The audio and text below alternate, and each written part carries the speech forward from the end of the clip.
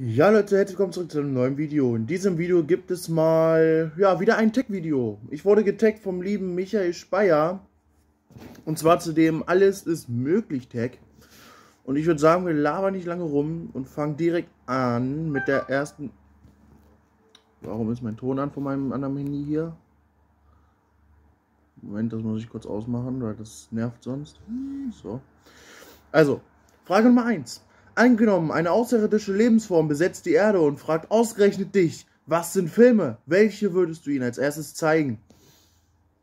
Also ich würde es für eine gute Idee halten, einen Außerirdischen so Filme zu zeigen wie Alien oder Independence Day. Das wäre doch eine super Idee.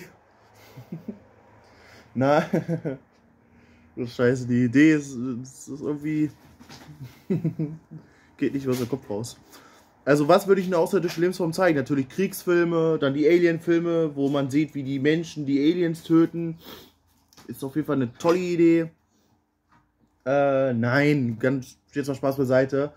Ich würde ein Alien eher so freundlichere Filme zeigen, weil man, äh, also sprich, wo wenig Gewalt ist, einfach nur aus dem Moment, es ist ein Alien, okay? Also ein Außerirdischer, ein motherfucking Alien.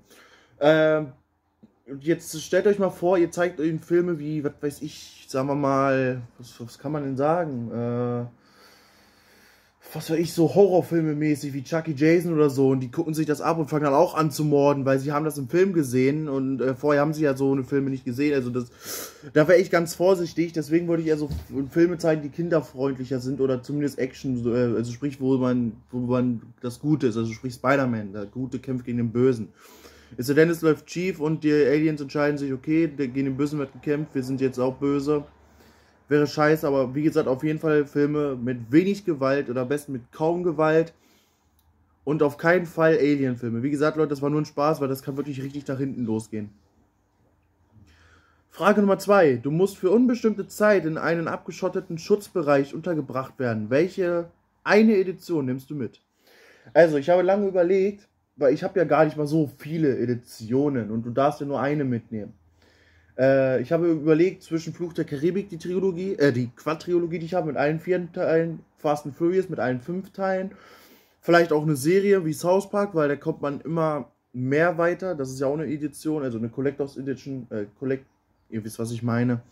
Ähm, aber ich habe mich tatsächlich für Nightborn M Street entschieden, für die Edition. Äh, einfach nur, weil äh, man hat alle sieben Teile, die man nochmal sehen kann. Und plus äh, bei manchen DVDs nochmal extra eine Dokumentation da drauf. Also man hat deutlich, also viel zu gucken. Und deswegen würde ich mich höchstwahrscheinlich für Nightmare on M-Street entscheiden.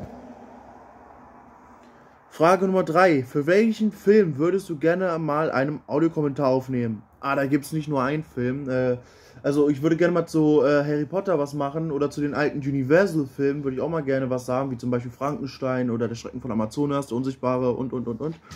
Ähm, aber ganz kurz zu dieser Reihe, äh, wegen Audiokommentar.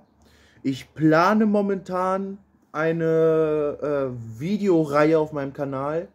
Äh, die wird allerdings wahrscheinlich erst starten, wenn ich irgendwann mal mit Godzilla fertig bin, weil Godzilla kommt, also geht bald weiter, keine Sorge. Ich habe schon zwei Kritiken gedreht. Einmal zu Frankensteins Kampf gegen die Teufelsmonster und Frankensteins Höllenbrut. Man muss ja aufpassen da bei den ganzen Titeln hier. Also die beiden Kritiken sind schon fertig gedreht, aber halt noch nicht hochgeladen. Und ähm, die Videoreihe, die ich starten möchte, ist Marvin wird alt. Warum? Ganz einfach. Ich habe schon sehr viele Filme aus meiner Kindheit gesehen, wo ich hier heute sitze und mir denke, warum mochte ich die Filme damals eigentlich? Und ich würde gerne äh, daraus eine Videofilmreihe, äh, Videoreihe machen, wo ich mir einen Film aus meiner Kindheit angucke, den ich in meiner Kindheit über alles geliebt habe, um dann äh, per Kritik herauszufinden, okay, warum habe ich den damals so geliebt, wo ich jünger war? Äh, warum finde ich den heute noch geil? Oder warum finde ich den vielleicht auch heute gar nicht mal mehr so gut? Äh, das würde ich halt per Videoreihe machen. Und deswegen nenne ich sie ja auch Marvin wird alt, weil ich bin ja nun mal älter jetzt mittlerweile. Und äh, ja. Ihr könnt ja auch vielleicht einen anderen Namen in die Kommentare schreiben, falls ihr sagt, der Marvin wird alt, äh, nimm lieber einen anderen Namen, dann schreibt einen anderen Namen in die Kommentare. Und äh, aber wie gesagt, für, auf die Videoreihe habe ich auf jeden Fall Bock. Dann Frage Nummer 4. Welche Geschichte Habe ich jetzt Frage 3? Nee, gut. Also Frage Nummer 4. Welche Geschichte oder Buch würdest du gerne noch verfilmt sehen? Äh, tatsächlich eher kein Buch, äh, wo ich sage, okay, den möchte ich verfilmt sehen, weil es davon schon eine Verfilmung gibt. Aber eine Neuverfilmung würde ich davon mal sehen wollen, und zwar Misery. Weil ich meine, warum nicht? Misery selber, ich habe mir den Film jetzt eigentlich mal angeguckt und der ist äh, anders. Also, der Film ist wirklich anders. Anders krank. Also, da ist Shining teilweise ein Witz dagegen, was da abgeht mit der Frau. Also, heilige Scheiße. Also, da würde ich gerne mal Jack Torrance und die Frau im einen sehen. Das ist, äh, wäre ein perfektes Duo auf jeden Fall. Frage Nummer 5. Bei welchem Film wärst du gerne bei den Dreharbeiten dabei gewesen und hättest du geändert? Ähm, da gibt es auch wieder viele. Ein paar habe ich sogar hier rumliegen, das könnte ich ja mal kurz zeigen. Äh, bei Ring 2 hätte ich was geändert, weil ich finde es cool, dass man mehr ähm, Hintergrundstory zu Tamara hat. Aber dennoch ist es ein bisschen schade umgesetzt. Bei Texas Chainsaw Massacre 4 würde ich ein bisschen was ändern, wie zum Beispiel ein bisschen was an der Brutalität, äh, auch, äh, dass man Leatherface nicht mehr so eingeschüchtert sieht. Ich meine, er lässt sich von einer Frau zusammenschreien. Ich meine, im ersten Teil hätte er die Frau noch zersägt. Im vierten Teil plötzlich hängt er da eingekaut auf den Sessel, nachdem die Frau gesagt hat, er soll sich da gefälligst hinsetzen. Und da denke ich mir so, was ist da mit Leatherface los? Und bei Annabelle 1 hätte ich auch nochmal was geändert.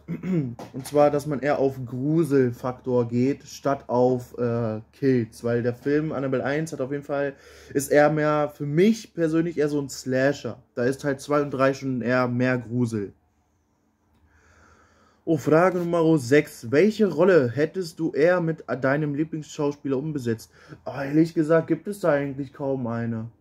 Wo ich jetzt sage, ah, ich meine, ähm, ja, gut, also vielleicht hätte man äh, bei Predator Teil 2 nicht den Dunkelhäutigen, sondern vielleicht wieder Arnold Schwarzenegger sehen können. So, das hätte ich wirklich gefeiert.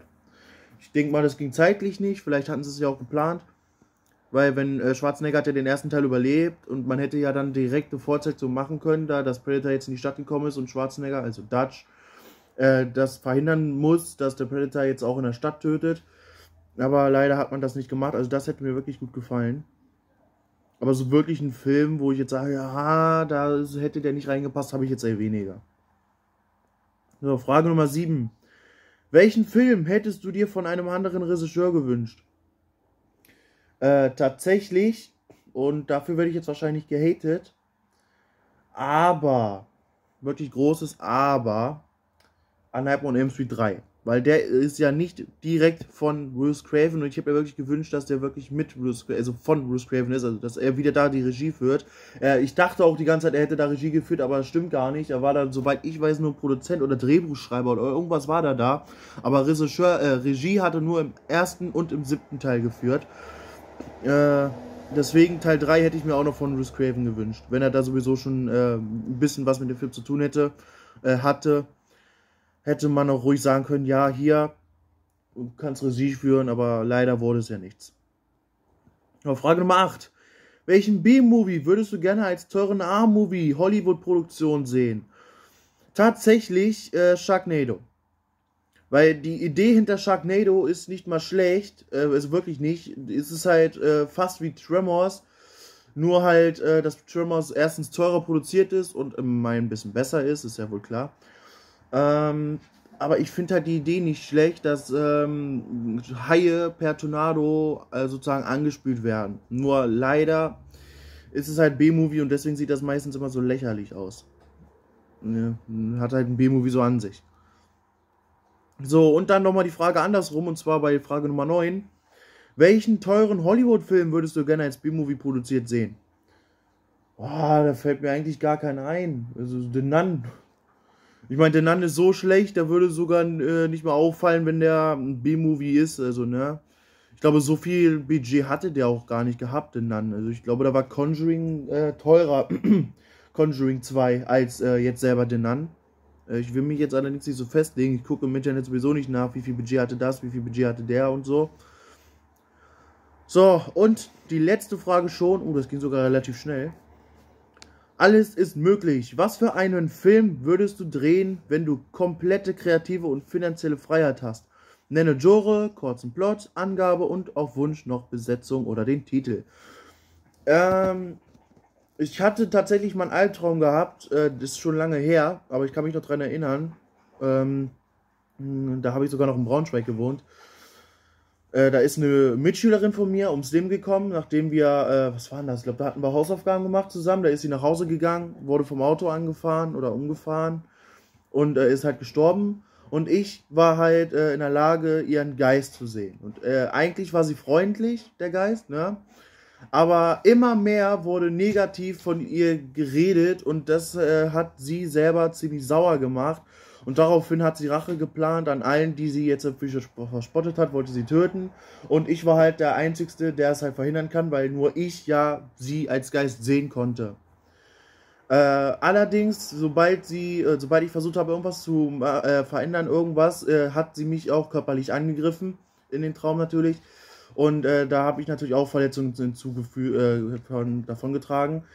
und mehr weiter weiß ich auch gar nicht mehr. Ich glaube, der Traum endete auch so, dass ich irgendwie geschafft habe, doch irgendwie ihr Geist sozusagen von der Erde zu erlösen, also sprich, dass sie Frieden findet. Äh, aber dennoch sind halt viele, viele Opfer, äh, also viele Leute zu Tode gekommen, unter anderem auch äh, gute Kollegen von mir, die im äh, Traum auf bestialische Art und Weise getötet wurden. Äh, und das wird dann eher so Genre Horror und ein bisschen Psyche, weil äh, ich weiß noch im Traum und auch in, nachdem ich aufgewacht bin, habe ich mir so gedacht, Alter, was habe ich da gerade geträumt? Heilige Scheiße. Und wie gesagt, Leute, das ist kein Scherz. Das habe ich wirklich geträumt. Da war ich, boah, wie alt war ich da? Ich glaube, da war ich zwölf Jahre alt. Da habe ich sowas schon geträumt. Und ich kann mich wirklich noch so dran erinnern, weil das, äh, das ist, wow, also, den Traum, ich, ich hätte wirklich, wenn, wenn ich könnte, ich würde den so gerne verfilmen einfach, weil der, der, das ist vor allem keine scheiß Idee.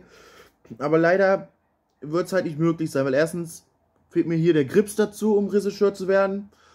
Und zweitens müsste ich dafür auch noch studiert haben und dann muss ich noch dies machen und dann brauche ich Abitur, also wie gesagt studieren und äh, was weiß ich noch alles. Also mal gucken, vielleicht hat hier irgendwer gute Verhältnisse zum Regisseur, der kann ja mal davon reden, weil ich meine, ein deutscher Horrorfilm, der vielleicht nicht mal scheiße ist.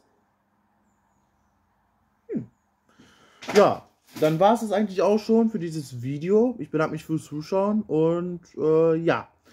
Wem tagge ich? Also wie gesagt, ich wurde von Michael Speyer getaggt und ich tagge Jim Hedmis. Ich habe auch schon mit ihm gesprochen. Äh, er, seine Antwort war einfach nur, okay. Also denke ich mal, ist es okay, wenn ich ihn tagge.